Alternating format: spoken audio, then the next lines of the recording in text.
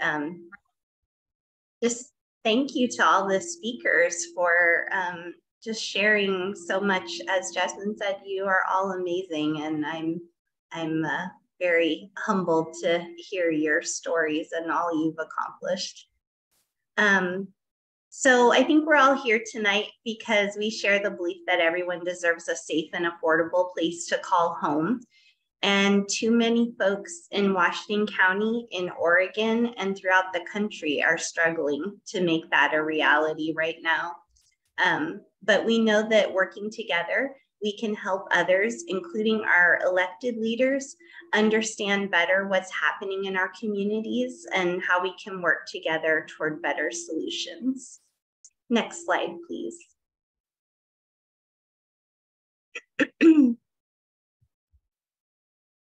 um, so uh, we're, tonight we'll, we'll have a, a few areas of focus. Um, the main one will be on what we call regulated affordable housing. Um, this is mostly rental housing, and uh, we refer to it as regulated because there are restrictions placed on it by the entities providing funding. And these are mostly um, uh, federal and state and sometimes local governments. Um, also, we wanted to spend some of our time tonight to build a base with some of the key terms and players that impact um, housing affordability in our area, um, both Washington County and the larger Portland, Portland metro area. So we'll cover some definitions, some terms, some key players, and more. The next slide, please. So um, just briefly, we wanted to define affordable housing. Um, and generally, what we mean by that is that your home is affordable to you if your rent or mortgage, along with utilities, doesn't take more than 30% of your gross monthly income for your household. Um, so if you take a moment to consider this definition um, and whether your current housing costs fall within, within that definition, um, and if not, you're part of a very large group of folks in Washington County, over 50,000 people. Um, and we'll talk more about that in a moment. the next slide, please. So some, uh, some key terms, um, as we talked about a little bit, um, there are kind of two types of affordable housing some that's regulated and some in the private market that happens to be affordable at the moment, but is unregulated over the long term. And um, while the bulk of all our housing in the US is unregulated, the government does play a role and has developed um, several programs to try and assist those who need help with housing costs and um, are low, have incomes that are, are lower than the median.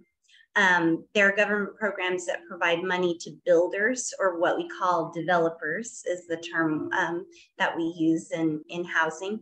Um, and these are folks that want to build and usually own and operate regulated affordable housing.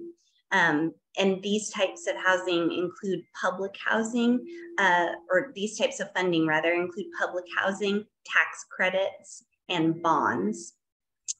Um, other programs provide assistance directly to tenants to pay a portion of their rent. Um, these would include some things like Section 8 vouchers or state and local rental assistance funds. And um, some of you may be aware that during the pandemic, um, a lot of uh, new rent assistance became available and was administered by uh, local nonprofits, um, uh, agencies like Community Action and others. So all of these types of assistance, um, Section 8, rent assistance, other types of funding, comes with strings or restrictions. And this is often um, on the income levels being served or the period of time the home must remain affordable. Um, so, uh, in talking about unregulated or private market affordable housing, um, some people call this type of housing, uh, um, well, there are different acronyms, but one of the ones that we use is uh, LICMR, which does not roll easily off the tongue, but um, that's low cost market rental. Um, and it's kind of a good description of that kind of unregulated housing. It just happens to be low cost and it's on the open rental market. Um, this type of unregulated housing can be really precarious.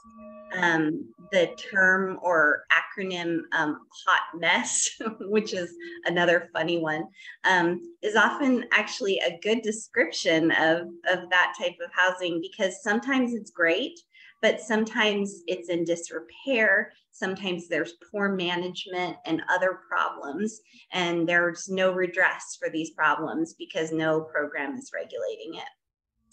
And when any number of things happen with these types of unregulated properties, they change hands or the neighborhood changes, rents increase, um, tenants may have to move and lose their homes. Um, and so that's another disadvantage of unregulated housing. The next slide, please. So let's talk about some of the key terms um, you'll hear when we're talking about um, housing and affordable housing in particular. Um, so many people you may have heard talk about public housing. Um, this is housing that's owned by local housing authorities. Um, and it's a really a very small part of the affordable housing picture in Washington County um, less than 250 homes in the county are in this category. Um, what a lot of people may be referring to when they say something like public housing or use that term um, is other uh, regulated affordable housing or low income housing. Um, and those uh, types of properties could be funded by tax credits um, they could be funded directly by HUD, which is the federal agency that controls funding and, and regulation for housing in the United States. Um, and these are developed um, by private developers and nonprofits. Um, and there are about 8,000 of these types of homes um, in Washington County currently. So over the past 20 or 30 years, um, federal government policy has moved away from public housing, um, and they're really moving toward funding for private owners to build housing, um, like I was just mentioning with tax credits or um, with HUD programs. Um, and then also rental assistance and vouchers that go directly to tenants or folks seeking housing. So um, the Housing Authority of Washington County um, provides about 3,000 vouchers, um, Section 8 vouchers, to low income households and um, other entities like nonprofits or jurisdictions like cities um, to provide rental assistance. Um, and then zoning and land use is uh, another term you might have heard, and it's been um, in the news a lot recently uh, especially because there was a, a bill uh, passed in Oregon, um, the first of its type in the country, that um, uh, changed zoning laws throughout the state. Um, so, uh, local zoning and land use requirements guide what can be built in a given community. So, in the past, um, uh, cities or the county or a county in Oregon might have zoned, for instance, um, for large lots that you could only build a single family home on that very large lot, for instance. Um, and these types of actions have historically led to racial disparities with less, less access to housing for communities of color. But now, with that measure that I just mentioned, it was House Bill 2001 um, the state of Oregon has asked local governments to allow for what folks who work in housing call infill, or um, you might have heard the term missing middle housing. And um, this would be duplexes, four to six plexes, so basically small um, apartment buildings, and um, things like accessory dwelling units or ADUs and some other housing types, um, cottage clusters and others. Um, and this aims, aims to add more choices by size and price range. So on a large piece of land, rather than just having the option to build one single family home, you might have the option to build four homes, um, which is, you know, a much better use of, of that piece of land in that case um, for density and housing choices. The next slide, please. Uh, so some other key terms, um, you may have heard the term gentrification. In fact, there's a Netflix show called Gentefied about um, Mexican immigrant families in LA trying to hold on to their homes and businesses as the neighborhood around them gentrifies. Um, displacement is another term, um, and that's typically used to indicate that someone has lost their home and not by choice. Um, so whether you say a neighborhood was gentrified or someone was displaced, um, the meaning is similar. Um, and that is that that that person or that family was priced out or moved because of increased rents, uh, redevelopment in the area, or other changes that come with gentrification and displacement. Um, so some economists, uh, when they're talking about housing, really believe in a concept called filtering. Um, basically, it means if we can build enough new housing, the older buildings will filter down and become affordable. And although there's some evidence um, for this theory working in practice, it doesn't always work.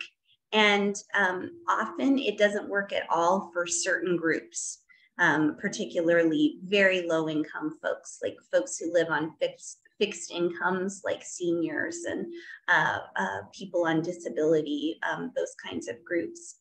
Um, sometimes older homes become actually the most expensive, and sometimes there's so much demand uh, and, and so little inventory that there's no chance for the units to filter down.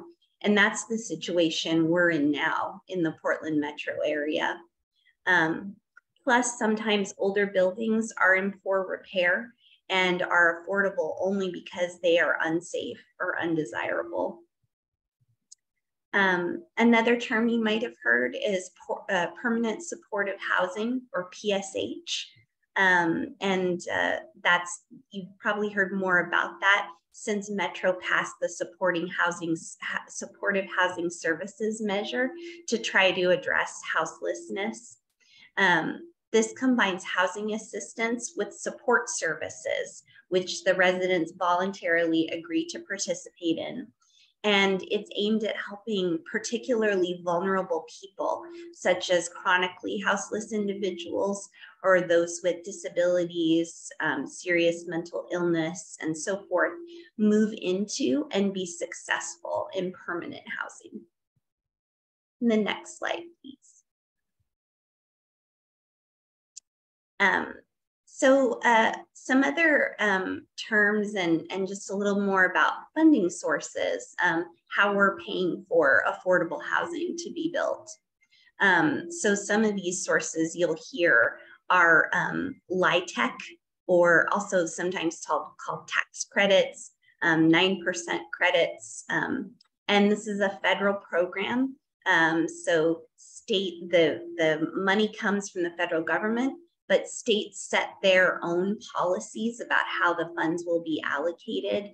Um, and they make awards on a competitive basis. So to get this type of funding, you as a developer would fill out a complex application at the state level and they would compare it to other applicants um, to see if they would fund your project.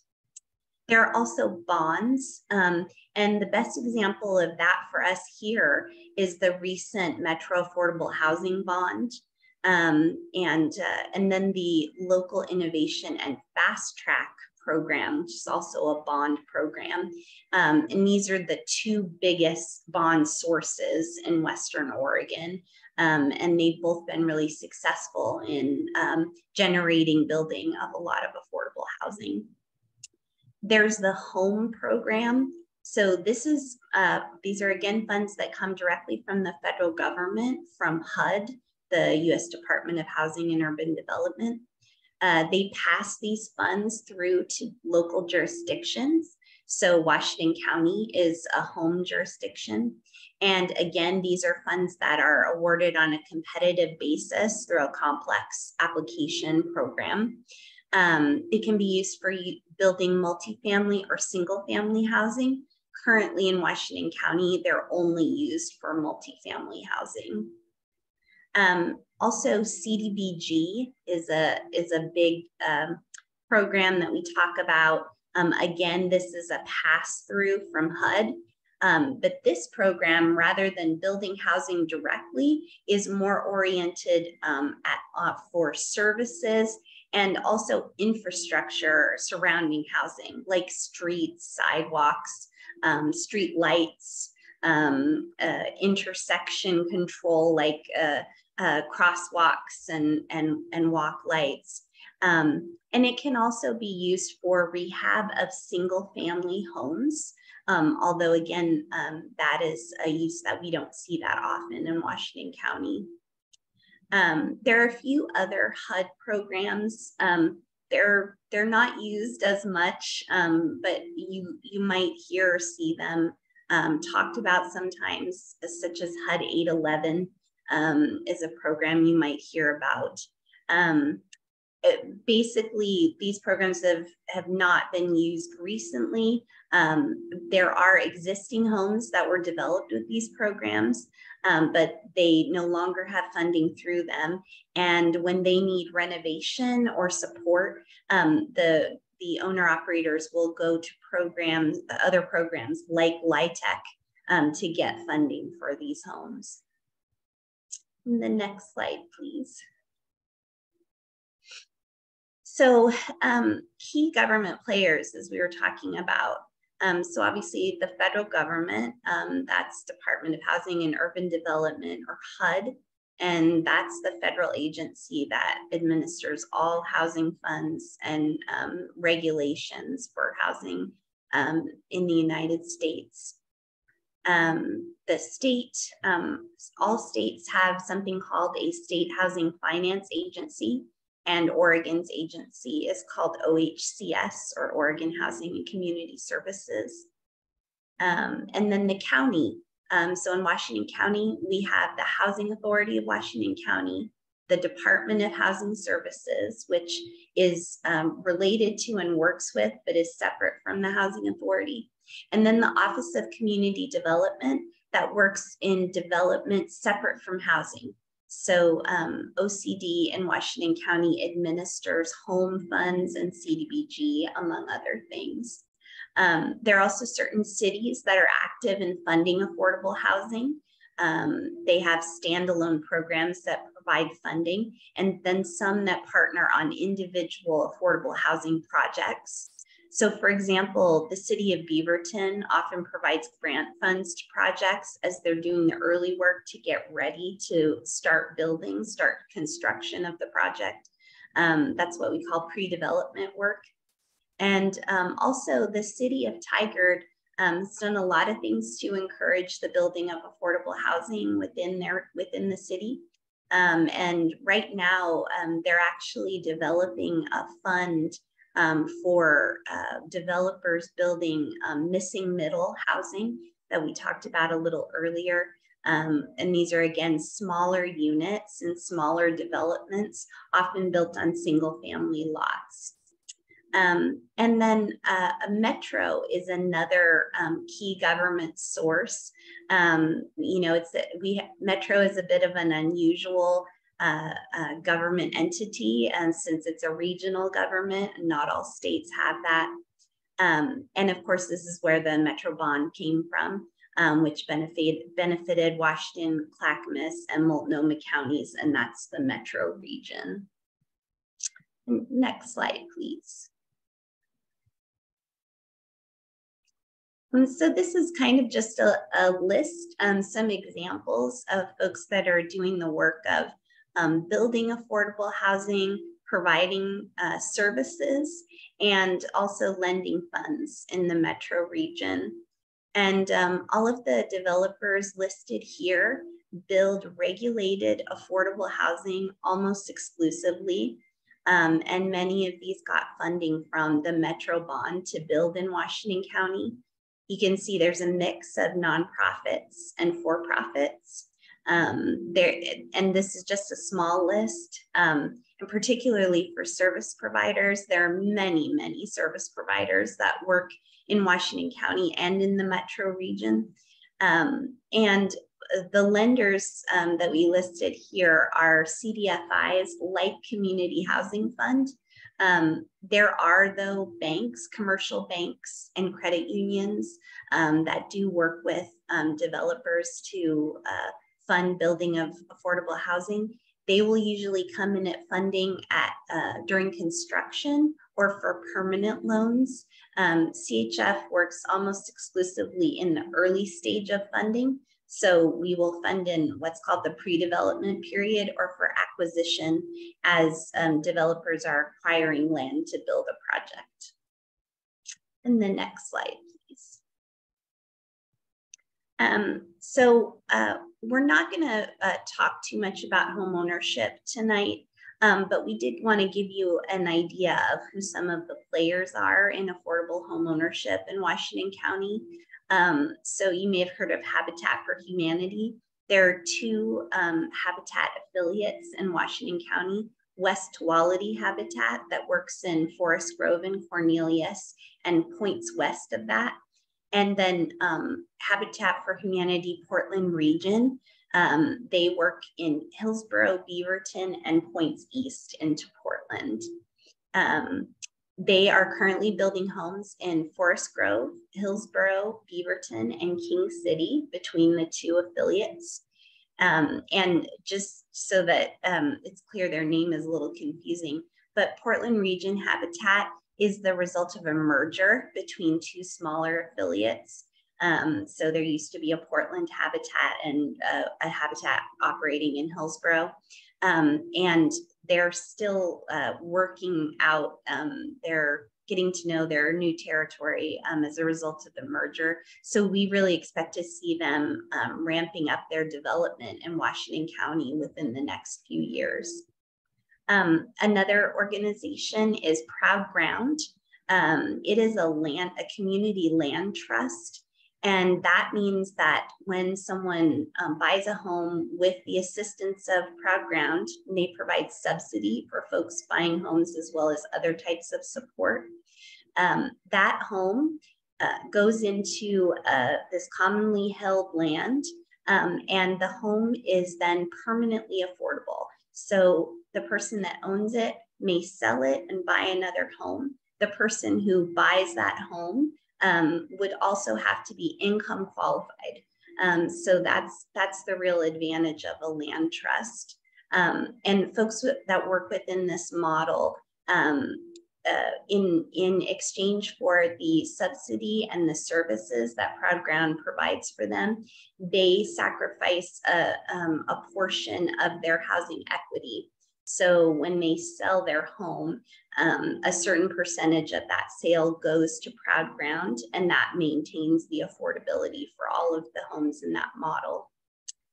Um, and uh, then um, there are assistance centers and, and uh, folks who just provide different kinds of services, um, sometimes funding and mortgage products.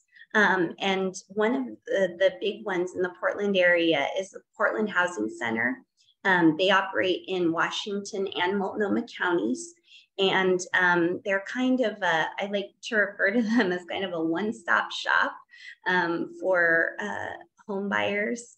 Um, they provide services like homebuyer education, um, other services like financial planning and credit counseling. Um, and they have information about available assistance like down payment assistance, loans, or grants um, and other funding. So they're a really great source. And the next slide, please. Uh, I saw a note on oh, chat. Sorry, missed it.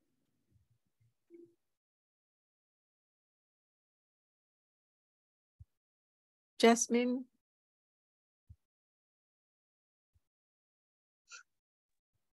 Yes. So um, no interpretation on uh, Spanish channel. I I guess. yes, yes. Uh, I don't know. I don't know, no sé quién está interpretando, pero dicen que no escuchan. Hmm.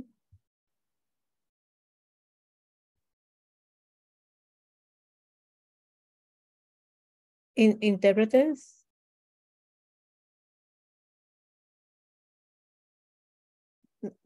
¿Quién está interpretando en ese momento?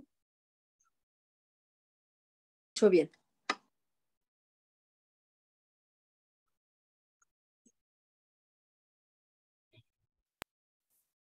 Great, thanks you guys. Thanks for letting us know there was a problem. Yes.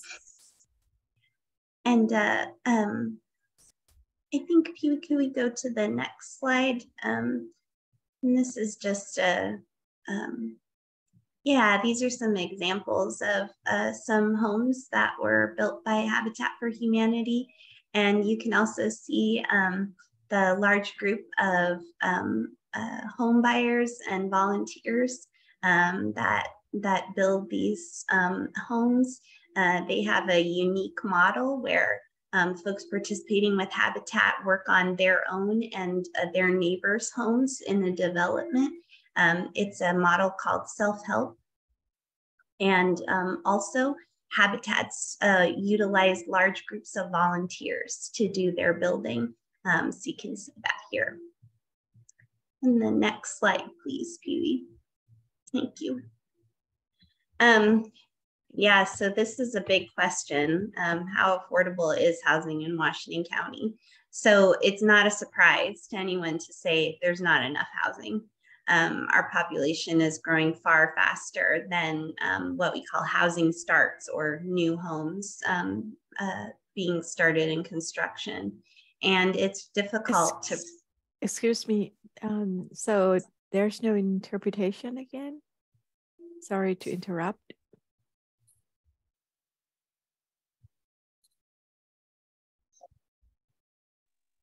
Estoy escuchando a los dos ahora, a la mujer y al, um, a, um, al señor, los dos interpretando.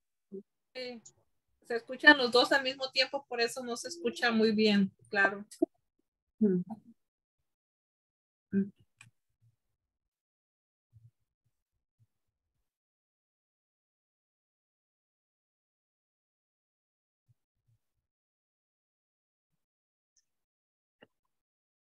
I see uh, both Felicity and Paul in, oh, okay, okay. so now both of you are in Spanish channel. Should I, um, uh, should we continue?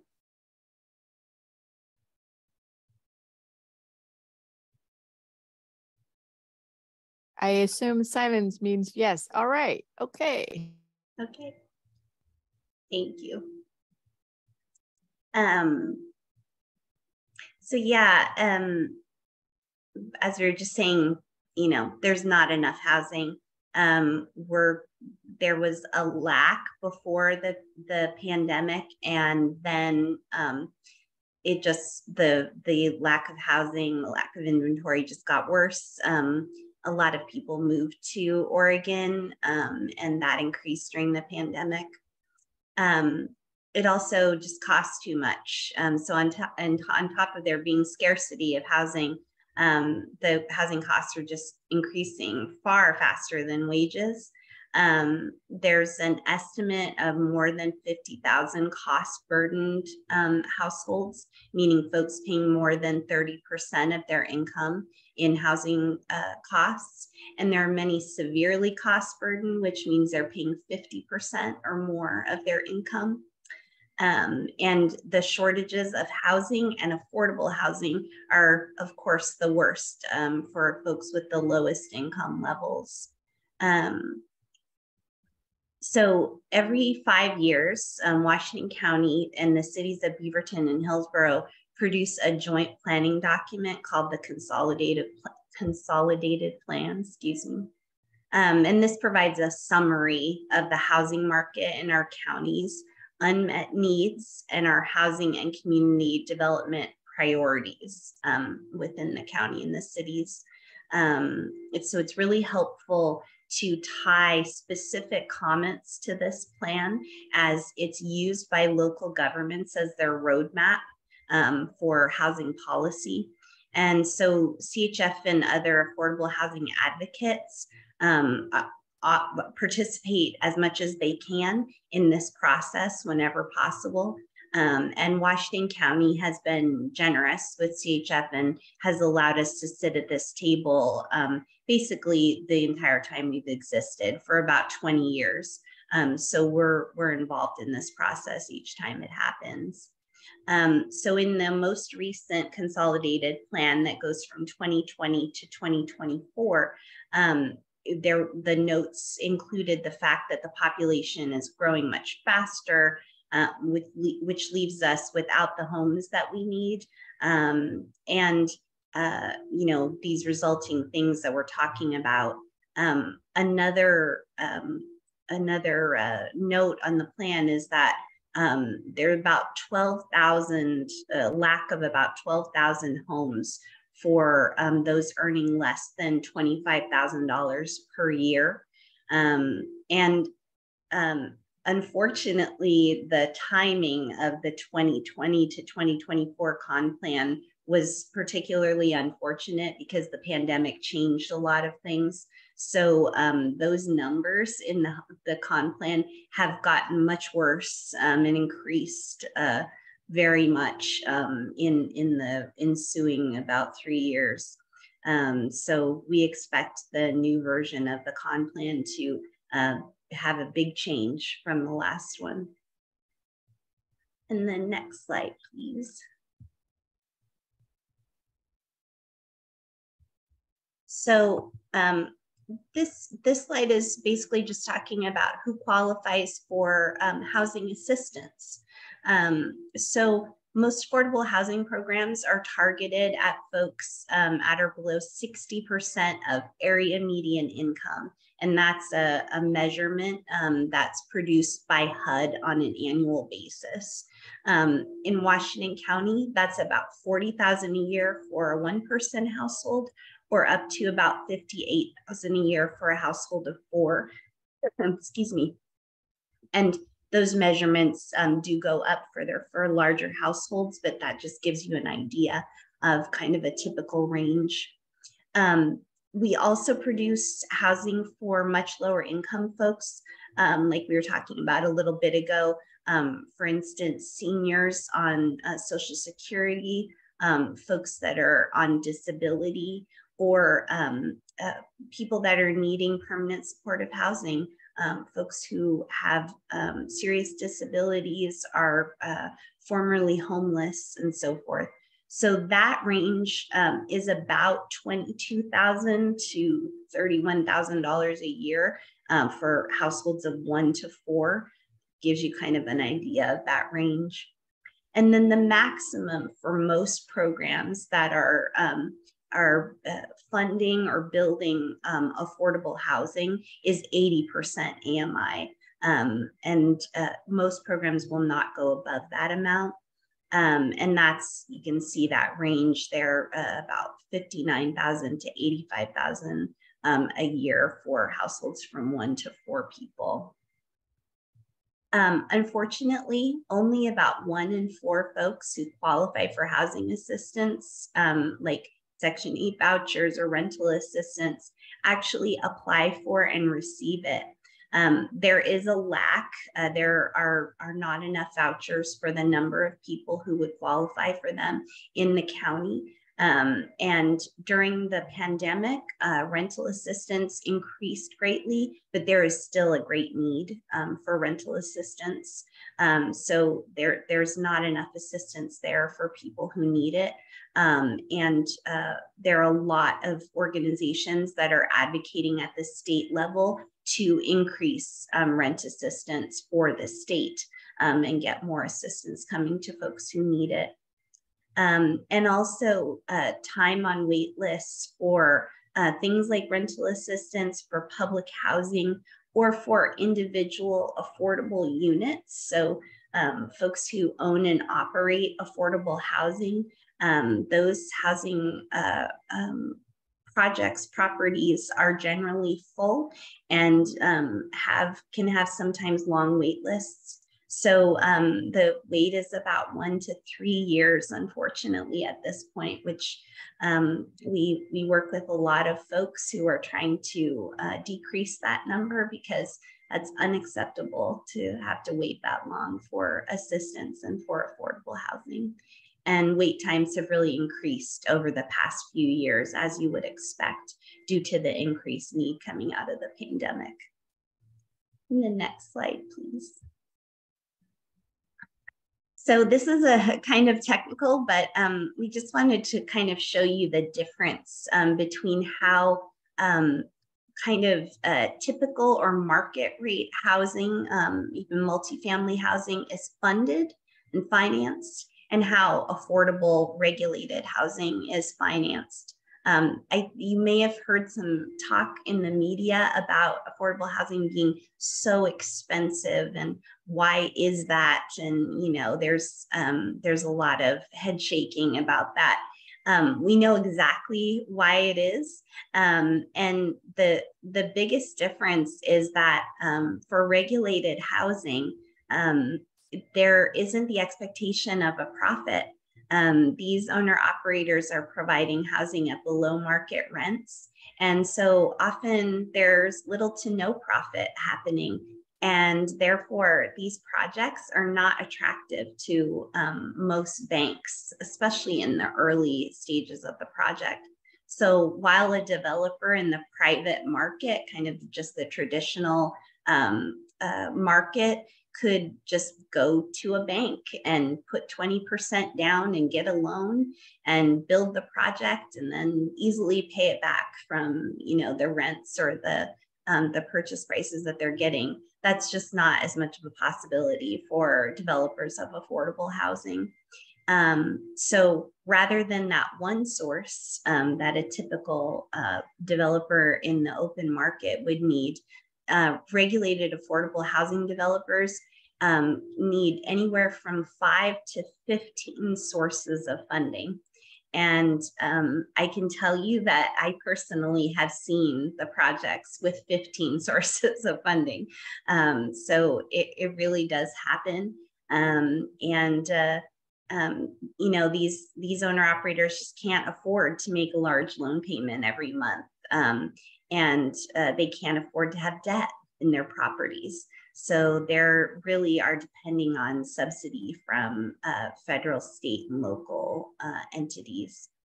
Um, so the biggest source of, of equity of funding for um, regulated affordable housing is LIHTC, like we talked about before. That's the federal program that provides tax credits um, and the the um, working of LIHTC is somewhat complex, um, but um, it is a system that, that works well for a lot of affordable housing. Um, there are other grants, um, including the local grants that we talked about, uh, home and others. Um, and these sources for affordable housing are highly competitive.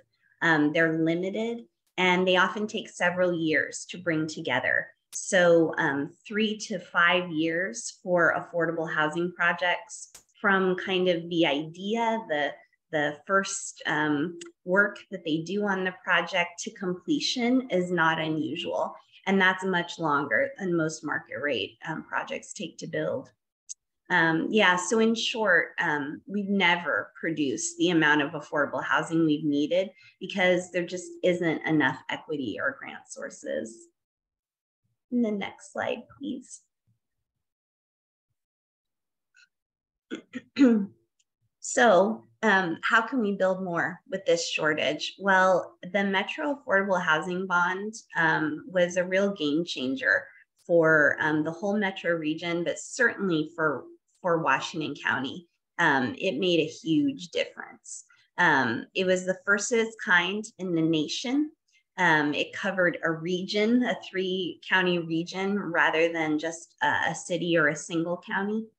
And um, for Washington County, the bond is providing enough funding for about 1,300 homes, which, given the numbers we were talking about before, doesn't sound like a lot, but um, that's a huge increase over the amount of funding, uh, the amount of homes that we had funding to build um, prior to the bond. Um, and that's enormously more than we could otherwise produce without the bond funding. Um, and then, you know, Metro's been combined with other funding sources at the state and local level, and cities have um, pitched in and nonprofits. And so there's been a lot of, uh, of uh, leveraging of, of those sources, which has been really great to see.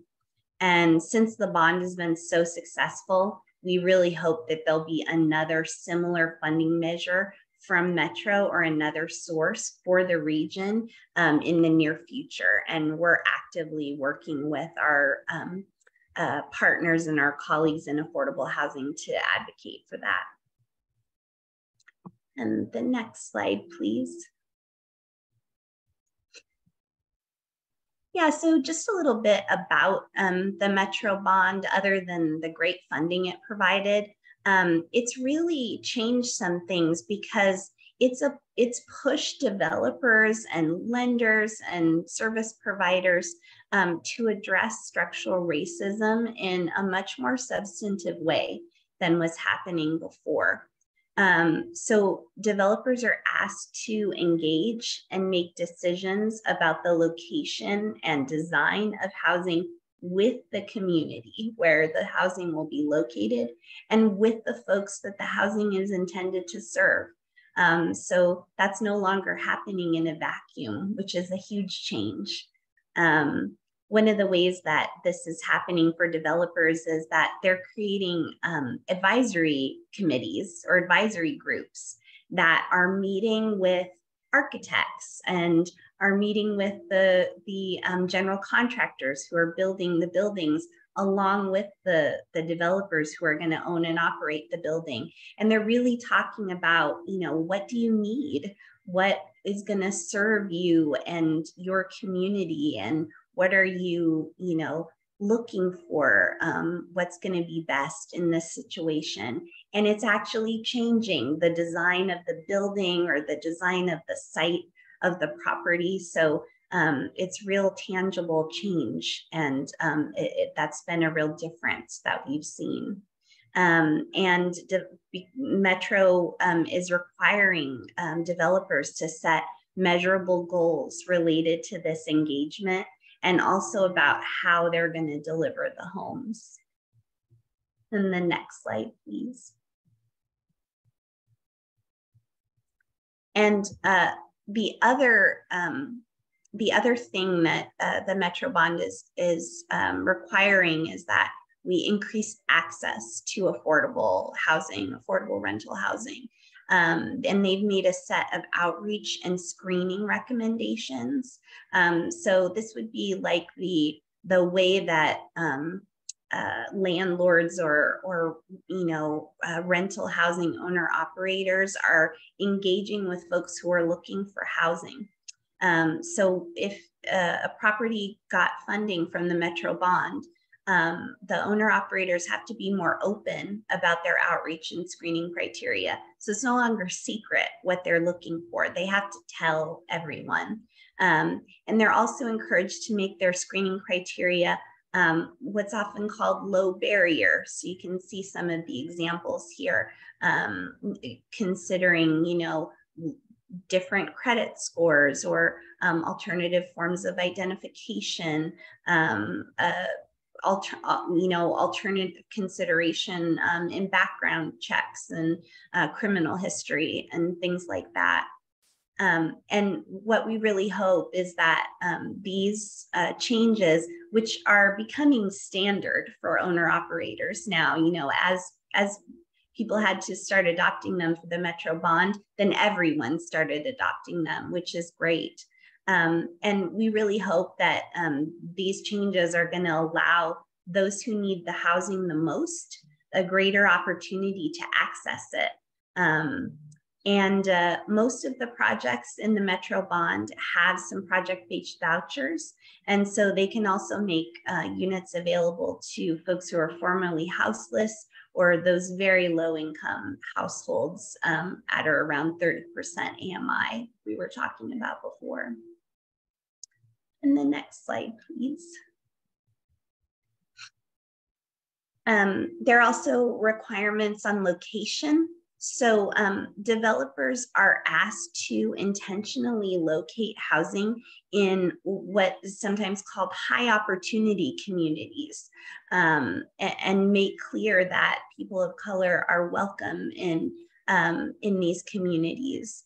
And um, high opportunity meaning there's a great access to transit, there are a lot of employment opportunities. There's a lot of retail. Um, there are other um, opportunities to engage with the community.